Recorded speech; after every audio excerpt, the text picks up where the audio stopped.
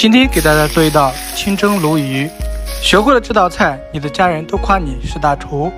十块钱买来的鲈鱼，后背开两刀。碗中放入葱姜，处理好的鲈鱼，淋上料酒去腥，蒸锅上气，再蒸八分钟。出锅放上三丝，淋入蒸鱼豉油，最后浇上热油即可。鲈鱼这样做，人人都爱吃。你学会了吗？